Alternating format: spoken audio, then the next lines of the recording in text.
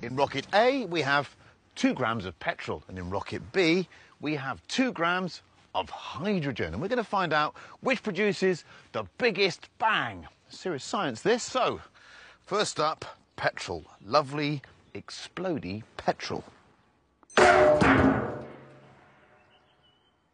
Okay, and now, hydrogen.